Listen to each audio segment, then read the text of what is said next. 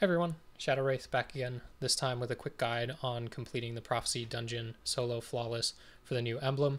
You can use the same strat with a fire team, but we're going to be mainly focusing on tips and tricks that I learned when trying to get that emblem. So without further ado, let's jump in.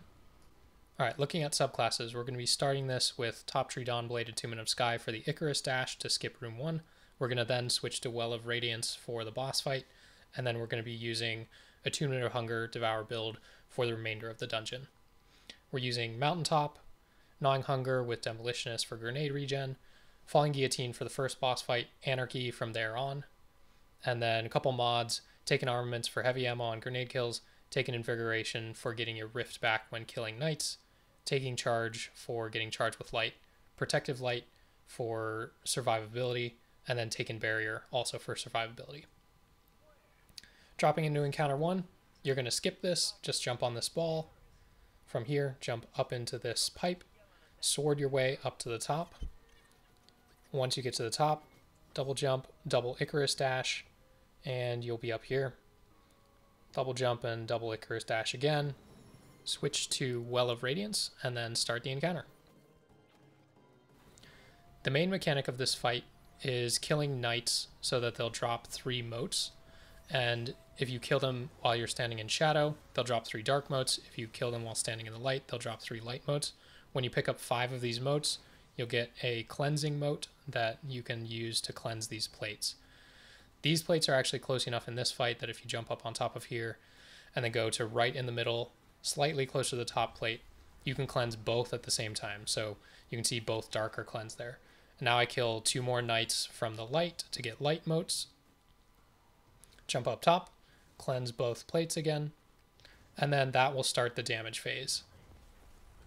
Now you just run to the boss, drop your Well of Radiance, and then use Falling Guillotine and sword through his health.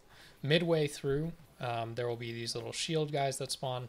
If they make the boss invulnerable, go kill them very quickly, and you should have enough time to solo one phase this, no problem. This is actually the most hectic fight, in my opinion, of the entire dungeon. So once you finish this, you're in good shape. Now switch to Devour, and then you will go into the next encounter, which is the Wasteland. You're going to look for these three blights. They could be anywhere in the map, but that's what you're looking for. On your way there, if you see this yellow sand, you can jump in and grab the secret chest. After you grab that, continue on to the blights. You're going to want to kill these snipers first. There will be three at each set of blights. Kill them, kill the three blights, and then jump through Toland here. That will send those three blights to another location on the map. You'll do that another two times for three times total, and that will open up the way. When that door opens, you're going to look for these little rib looking things, and then you're going to go to the square side next to it. This is the door, and you'll run your way into the hexahedron encounter. Drop a raid banner if you need it, and start the encounter. You'll want to take cover right away because all of the ads start spawning. A couple things to note here. You'll want to proc devour, try to clear the ads uh, first. There will be two snipers that spawn up top. When you kill the snipers, they will spawn knights. What you want to do is look for the side of the cube that Toland is on, and then look for what color motes you need underneath it. So in this case, Toland's there. I need light motes. I just killed both snipers, so both knights have spawned. So I need to jump out of cover into the light to get them to spawn light motes when I kill them.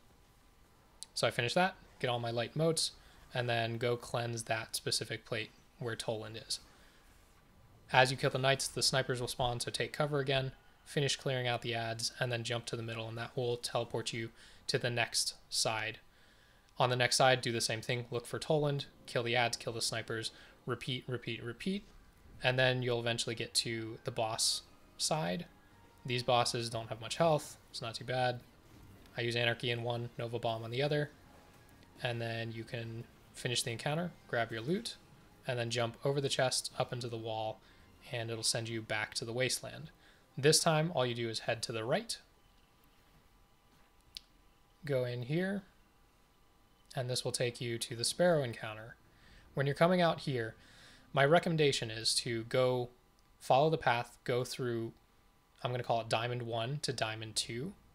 And then when you get to Diamond 2, go into Diamond 2 and go the rest of the way using the platforms instead of the Sparrow path. So here's the knight. Kill him, jump up, jump up to the left, and then follow these platforms out. You're going to want to jump through diamond number three. There's a secret chest in diamond four that I'm not going to show in the video, but you're trying to get to that bottom platform. I use this guy to boost me off a little bit to skip a few of the platforms. Optional, not necessary. Jump through diamond three, and then you'll eventually get down to this platform, and this should suck you up towards the final boss encounter. Again, that diamond right there is the one with the secret chest if you really want it. There are ads in here, but you can just run past them all to the boss room. The boss room is like a pyramid, so the base is like a triangle, and there will be one plate at each point of the triangle that you have to clear. So you'll want to look for this circle. This gives you a lot of cover. Proc Devour. Check what colors of motes you need, and then kill the knights to get those colors. Once you get them, be very careful. Try to avoid getting surrounded. Recover health, again in that circle if you need it. And then cleanse the plate. Cleansing the plate makes an ogre spawn, so I drop a rift here. Ogre spawns, double sticky with anarchy, hit him with one mountaintop, and he should die. Clear out the rest of the ads, cleanse the other two points of the triangle, and this will drop you into the damage phase. So again, after the last cleanse, kill the ogre, use your grenade to get back any heavy ammo you need, and then make sure you're going in with your grenade for oppressive darkness and full ammo so that you can make sure you're hitting at least a third of the boss's damage. This boss fight, uh, I'm going to speed up a little bit, but you can see the route that I take. I double sticky, dodge his first portal, and then use grenade and nova bomb. Fire one mountaintop, then jump to kill these snipers. The portal will teleport you backwards, and if you're too far from the boss, you'll start getting stacks of dark entropy to reduce those stacks, you have to be inside this large circle around the boss. You'll kind of see a haze circling him when you jump in it. Your stacks will start to decline. Again, in between his teleports, make sure you have two anarchy stuck to him, and then alternate that with killing the snipers, because they will take you down very, very quickly. At the end, you'll see if you get hit with a portal, it's not that big of a deal. Take your time, just jump back to the boss, get inside that ring, to make sure you don't die from Dark Entropy. And by the time you finish, you should have done over a third damage. Wait for your grenade to recharge, drop back in, and then as you're going down this pipe, look down. It will flip you as soon as you go through this purple thing. Look down again to orient yourself, and then find that round cover.